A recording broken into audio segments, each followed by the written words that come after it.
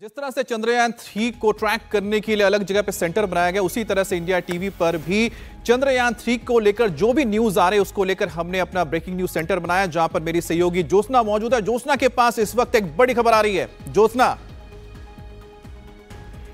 बिल्कुल, अमित, जिस तरह से ये टेक्निकलिटीज एक्सपर्ट्स ने समझाई कि किस तरह लैंड करना होगा, अब एक महत्वपूर्ण बात मैं भी समझा देती हूँ। दरअसल जो बड़ी खबर आ रही है वो ये कि चंद्रयान, इस वक्त चंद्रयान थ्री से जुड़ी हुई बड़ी खबर ये है कि विक्रम पर प्रोग्राम अपलोडिंग का काम करीब करीब पूरा हो गया है। अब सिर्फ़ कुछ आखिरी कमांड्स बचे हैं। इसरो लॉन्च से कुछ देर पहले लोड किया जाएगा, ये इसरो का कहना है। यानी कि जो मेजर प्रोग्रामिंग अपलोड का काम था वो कर लिया गया है। और जैसे ही लॉन्चिंग के सॉफ्ट लॉन्चिंग के करीब विक्रम लैंडर पहुंचेगा। तो उस वक्त कुछ और ऐसे प्रोग्राम्स हैं जो लोड किए जाएँगे। और साइंटिस्ट को चंद्रमा के दक्षिणी ध्रुव को समझने में, वहाँ की रिसर्च करने में आसानी होगी। अब बस कुछ आखिरी क्षणों का इंतज़ार होगा। तब बचे हुए प्रोग्राम को लोड किया जाएगा। मेरे सहयोगी टी राघवन मेरे साथ बने हुए हैं। टी राघवन, जिन कमांड्स को प्रोग्राम्स को अपलोड करने की बात कही जा रही है, वो किस तरह के कमांड्स हैं और वो किस तरह साइंटिस्ट को हेल्प करेंगे? जी देखिए जोसना पिछले दो दिनों से लगातार 24 घंटे जो मिशन ऑपरेशन कॉम्प्लेक्स है इस ट्रैक का वहाँ पर 200 से ज़्यादा वैज्ञानिक जो हैं लगातार ये मॉनिटर कर रहे हैं कि उसके सारे पैरामीटर्स ठीक रहें। जब ये सुनिश्चित कर लिया जाता है कि जो विक्रम लैंडर का हेल्थ है उसके पैरामीटर्स हैं उसके सेंसर्स हैं ये सारी तमाम चीज़ें एक सही तरीके से काम कर रही है। उसके बाद जो है प्रोग्राम अपलोडिंग का ये सिलसिला शुरू होता है जो कल सुबह तकरीबन सुबह सुबह शुरू हुआ था। अभी कुछ देर पहले इसरो के वैज्ञानिक जो है उन्होंने हमें बताया कि ये जो प्रोग्राम अपलोडिंग का काम तकरीबन पूरा हो गया। होता क्या अगर सरल भाषा में समझें तो वो जो जर्नी है, जो 30 किलोमीटर की जो जर्नी वर्टिकल और तकरीबन 800 किलोमीटर तक हॉरिजेंटल इस विक्रम लैंडर को तय करनी है, वो कैसे काम करेगी? कैसे वो एक एक स्टेप आगे बढ़ेगा?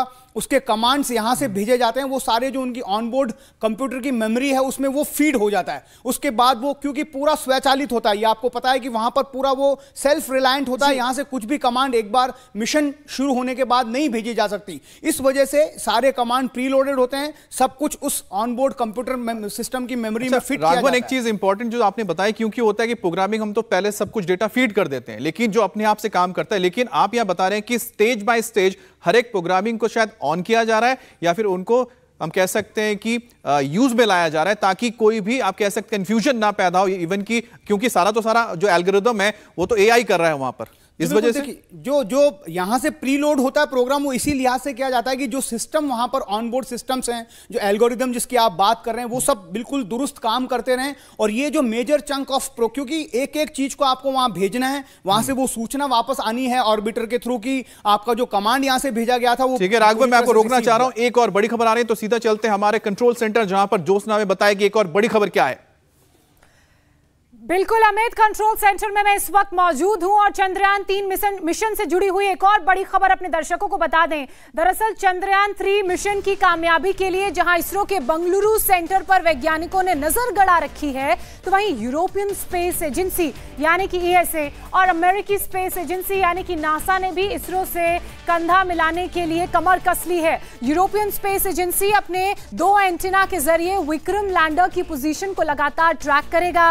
वहीं की बात की जाए तो नासा के तीन एंटीना भी विक्रम लैंडर से मिलने वाले हर सिग्नल को सीधे बंगलुरु सैंटो में रिले करेंगे। यूरोपियन स्पेस एजेंसी का एक स्टेशन यूके के गुनहिली अर्थ स्टेशन और फ्रेंच गुयाना के कोरू अर्थ स्टेशन से लैंडर पर नज़र रखेगा। वहीं नासा के कैनबरा में दो और मेड्रिड में एक एंटीना विक्रम लैंडर की हर मूवमेंट पर नज़र रखेगा। और एंटीना के ज़रिए अगर कोई सिग्नल्स आ रहे हैं तो उन्हें सीधे बंगलुरु के इसरो सेंटर में रिले किया जाएगा। इसके अलावा ऑस्ट्रेलिया में भी यूरोपियन स्पेस एजेंसी का एक अर्थ स्टेशन है जो विक्रम पर उस वक्त नज़र रखेगा जब वो बाकी स्टेशन की पहुँच से दूर होगा। तो देखिए मिशन ये भारत का है लेकिन पूरी दुनिया के जो देश है वो भारत की मदद के लिए आगे आए हैं और हर किसी ने अपनी तरफ़ से मदद का हाथ बढ़ाते हुए एंटीनाज जारी किए हैं जो चंद्रयान थ्री के सिग्नल्स को रिसीव करेंगे और वो भारत के इसरो सेंटर में भेजेंगे। तो जैसा कि जोशा ने बताया अमित, बिल्कुल टी राघवन से मेरा सवाल। टी राघवन, देखिए, जिस तरह से रशिया को नाकामी हासिल हुई, लेकिन महत्वाकांक्षी प्रोजेक्ट उनका भी था। अब भारत बहुत करीब है कामयाबी के तो ऐसे में हर देश ये चाहता है, दुनिया का हर साइंटिस्ट ये चाहता है कि ये कामयाबी, ये सफलता भारत को मिले और फिर वो इससे सीख ले सके। और यही कारण है कि अलग अलग देशों के जो स्टेशन हैं एरोनॉटिक साइंस के वो मदद कर रहे हैं भारत की। जी बिल्कुल देखिए ये बहुत जटिल प्रक्रिया है। रॉकेट साइंस जो है इसको सरलता से समझा भी नहीं जा सकता हम्म। और एग्जीक्यूट भी नहीं किया जा सकता। यही वजह है कि science is all about sharing ये जो फ्रेटर्निटी है साइंटिस्ट की वो ये कहते हैं कि जो भी डाटा आपके पास मिल रहा है वो आपसे शेयर कीजिए ताकि क्योंकि बहुत कॉम्प्लेक्स मिशन होते हैं और जो कोलाबरेटिव एफर्ट होता है क्योंकि पिछली बार भी ये चीज़ें थी।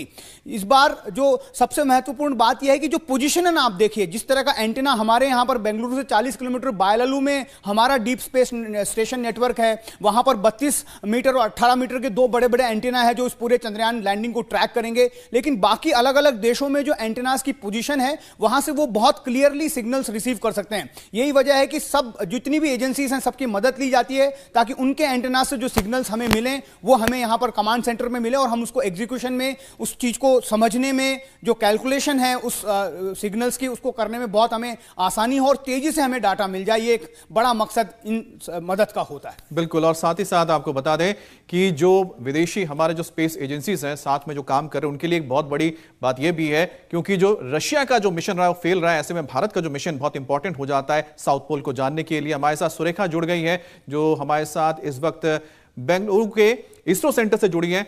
सुरेखा, यहाँ पर तो हम जान रहे हैं कि किस तरह से प्रोग्रामिंग को अपलोड कर दिया गया है, जो नेक्स्ट प्रोग्रामिंग पाथ है लैंडर में। इसके अलावा और क्या क्या चीज़ें हो रही हैं? क्योंकि लगातार मुझे लगता है कि जो मॉनिटरिंग हो रही है, वहाँ पर इस वक्त इसरो के अंदर, वो अपने आप में एक बहुत ही, कह सकते हैं कि इंपॉर्टेंट पार्ट है इस पूरे मिशन में।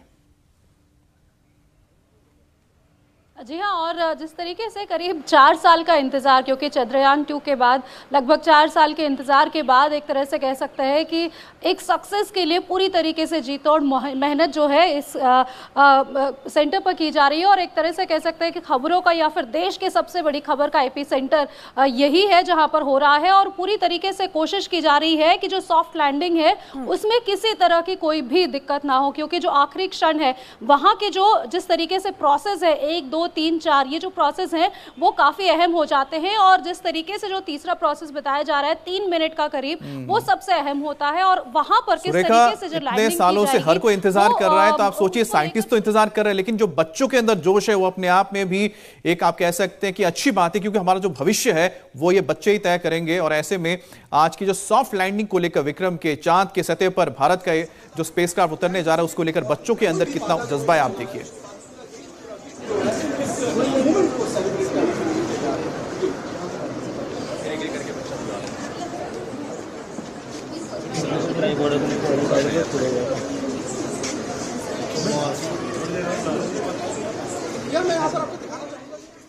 तो चंद्रयान थ्री की सॉफ्ट लैंडिंग को लेकर देश भर में पूजा अर्चना किया दौर भी जारी है। उज्जैन के महाकाल मंदिर में आज सुबह ही यहाँ पर पूजा अर्चना की गई। इसके अलावा प्रयागराज, मुंबई, भोपाल, लखनऊ, रांची, अयोध्या के मंदिरों में दुआ मांगी गई।